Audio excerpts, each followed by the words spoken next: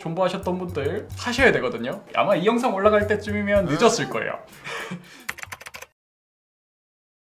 안녕하세요 여러분 반갑습니다 눈쟁입니다 오늘도 컴퓨터를 한 대 들고 왔습니다. 코인 불장이 다시 시작돼가지고 그래픽카드 가격이 많이 오르고 있는데 코인 가격이 떨어졌으니까 이제 글카 사도 되겠다 싶어가지고 존버하셨던 분들 사셔야 되거든요. 아마 이 영상 올라갈 때쯤이면 늦었을 거예요. 그래서 대체할 만한 한 1년 정도를 또 존버할 수 있을 만한 PC를 가지고 왔습니다. 어, 이제 안 보이네. 내릴게요.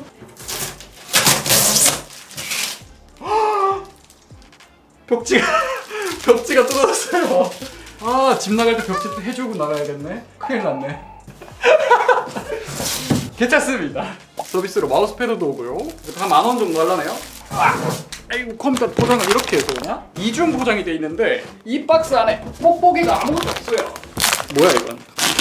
뭐가 붙어 있어요. 메인보드 부속품인 것 같습니다. 필요 없는 부속품은 다 빼고 일반 유저들한테 필요한 몇 개만 포장을 해준 것 같습니다. 이게, 이게 왜 있죠? 공랭 쿨러가 새로운 게 장착이 돼 있나? 기쿨 장착했으면 얘가 있어야 될 거거든요? 이거 왜 뺐는지 모르겠네. 아무튼 요거에 SATA 케이블 그리고 케이스 조립할 때 들어있던 나사랑 일부 부속품들 그리고 파워 안에 들어있는 파워 케이블 메인보드 설명서 이렇게가 부속품으로 들어있습니다. 그러니까 일반 유저들은 어차피 이 이상 필요한 게 거의 없죠? 아마 M.2에 필요한 뭐 나사 같은 건 다 했을 거고 딱 필요한 것만 일단 넣어준 것 같습니다. 그리고 윗면 포장 주의 이 봉인 스티커를 제거하신 후 제품을 개봉하게 되면 제품에 이상이 없을 시 반품이 불가능하다고 합니다. 개봉 전 신중하게 고려해 주세요. 오 이렇게 조금이 하게 조립이 돼서 왔습니다 일단 조립된 거를 좀 확인을 해볼게요. 비프 이거 넣어준 거 진짜 오랜만에 보네요. 뭐 조립 자체는 선 정리도 뭐 무난무난하게 돼 있습니다. 아 이 쿨러는 이게 나사 장착 방식이군요. 몰랐네요. 아무튼 여기에 들어가 있는 자세한 부품은 여기를 보시면 나오고요. 지금 가장 핵심적인 부품이 CPU인데 CPU가 AMD의 라이젠 7? 5? 모르겠는데 APU 4650G입니다. 그러니까 내장 그래픽 카드가 들어가 있는 제품이고 지금 이제 5000번대가 출시가 됐죠. 근데 그게 이제 소매용 제품 따로 파는 걸로는 지금 일부 제품만 출시된 걸로 알고 있는데 초기가가 조금 높게 잡혀가지고 4000번대를 아직 사는 게 낫기는 할 겁니다. 근데 4000번대 APU의 단점이라고 하면은 CPU가 조금 구려가지고 이 APU로 그대로 쓸 때는 괜찮은데 외장 그래픽 카드를 장착을 하면은 CPU에서 병목이 좀 많이 걸려요. 그래가지고 그냥 존버만 하는 이 컴퓨터를 그대로 쓰다가 나중에 컴퓨터를 새로 맞추실 때 이건 팔고 새로 아예 맞추실 분들은 4000번대 APU가 들어간 거 사셔도 되는데 그게 아니고 나는 존버용으로 APU를 사용을 하다가 나중에 이제 그래픽 카드가 싸지면 글카만 추가로 구매해서 될 거다 하시는 분들은 5000번대 내장 그래픽 들어간 친구를 사시는 게 낫습니다. 왜냐면 CPU 성능 차이가 좀 많이 나요. 내장 글카 차이는 별로 없는데 그래서 그게 나을 거고. 메모리도 8기가 2개 3200짜리 달려있고 SSD도 뭐 ADATA 거? 이거 8200 얘가 괜찮았던 걸로 기억해요. DRAM-less 아니었던 걸로 기억을 하는데. 이것도 뭐 그렇고. 부품 구성 자체는 뭐 썩 나쁘진 않습니다. 근데 이제 파워가 조금 아쉽기는 한데 가성비를 위해서 그렇게 맞춘 것 같습니다. 여튼 총 가격은 전체 합쳐서 59만 9천원입니다. 근데 로켓 배송까지 되기 때문에 쿠팡 이용하시는 분들은 배송비가 없는 거고. 그리고 컴퓨터가 파손이 돼서 올 걱정도 크게 안 해도 되지 않을까 싶어요. 만일에 파손이 돼서 온다면 아까 보면 알겠지만 제품에 하자가 있으면 교체가 가능합니다. 쿠팡이 이 AS 할 때 진짜 좋은 게 그냥 AS 신청하고 밖에 내놓으면 가지고 갔다가 그냥 다시 배송을 해줍니다. 근데 로켓으로 갔다가 로켓으로 오기 때문에 AS가 막 한 2, 3일이면 끝나요. 그러니까 보통 업체들에서 진행을 하면 이제 퀵으로 진행을 하기 때문에 거기도 이제 서울권에서 사시는 분들은 편하게 하실 수 있지만 오버 시스템 같은 곳에서 구매를 하신다면 쉽지만 만일에 그런 것이 아니고 로켓 배송만 되는 위치다 하시면은 이런 컴퓨터를 구매하시는 것도 괜찮은 선택이겠죠. 뒤에 조립되어 있는 거 볼까요?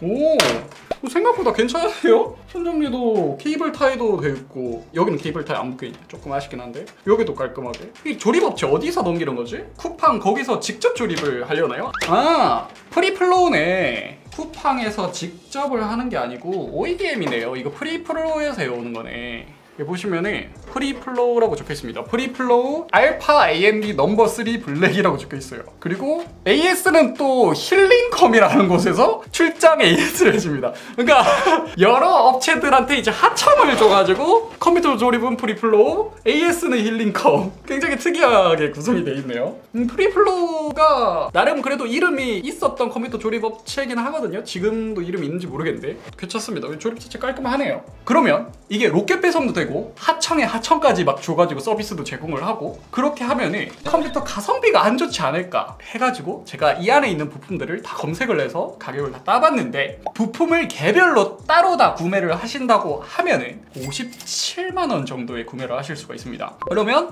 로켓 배송 추가가 되고 출장 AS 1년 서비스에다가 AS 처리도 워낙 빠르게 잘 되기 때문에 그런 것까지 생각을 한다면 3만 원 3만 원 차이로 그걸 다 누릴 수 있다고 생각하면 은 가성비가 절대 나쁘지 않은 친구라고 할 수가 있겠죠. 물론 현 시점입니다. 촬영하는 오늘 날짜 시점 CPU 가격이 비싸지면 더 가성비가 좋아질 수도 있지 않을까 싶은데 존버용 이 컴퓨터로 과연 어느 게임까지 원활하게 할 수 있을지 오늘 한번 게임 테스트를 한번 해보도록 하겠습니다. 일단 롤 들어왔습니다. 롤은 FHD 풀옵으로 들어왔고 라인전 시작했을 때 저 혼자 있을 때는 170프레임 정도 프레임 타임도 안 튀고 뭐 그럭저럭 잘 나오죠. 이펙트 터지니까 140프레임 정도. 글카는 근데 100% 사용을 하지도 않네요. 글카 65%뭐 이 정도밖에 안 나옵니다. 지금은 미니언이 정말 많습니다. 오, 글카 사용률은 떨어졌는데 CPU 사용률도 낮죠. 근데 이제 롤 자체가 2코어 게임이었나? 그래가지고 CPU 영향이 중요합니다. 여기부터는 이 상태에서는 90프레임 정도 나오죠. 그러니까 만일에 이런 구간에서 프레임이 잘 나오려고 하면은 라이젠 이제 5000번대 APU 그 친구들을 구매를 하시는 게 맞습니다. 지금 4000번대 APU의 한계는 이 정도. 실제로 이제 오브젝트가 많은 이런 상황이 오면은 고주사율 모니터를 활용하기엔 좀 적당하지 않게 많이 떨어진다라는 거를 알아두시면 될 것 같습니다. 뭐 롤은 이 정도. 일단 글카는 부족하지가 않다.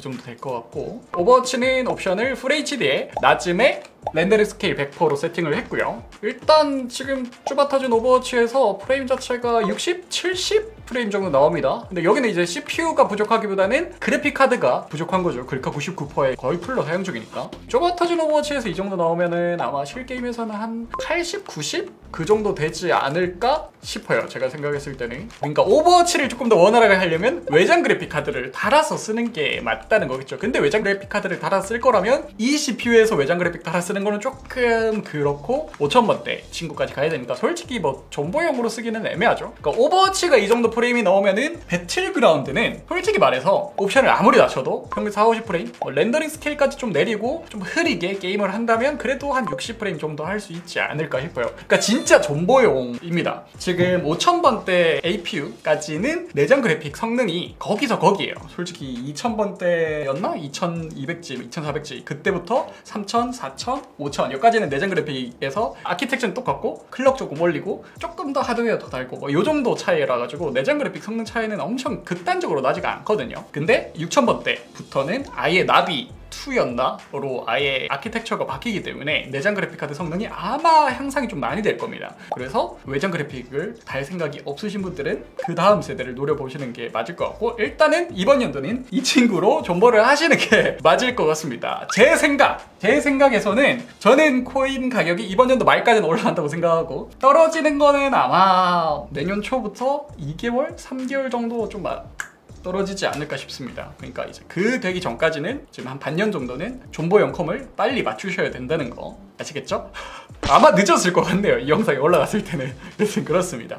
근데 쿠팡 이 컴퓨터가 이거 내장 그래픽 들어간 거 말고 한창 그래픽 카드 가격이 많이 오를 그 시점에 나온 적이 있었거든요. 근데 그 재고가 빨리 나와가지고 리뷰를 못했었는데 조만간 또 그런 게 나오면 그 컴퓨터로 리뷰를 또 할 날이 있지 않을까 싶네요.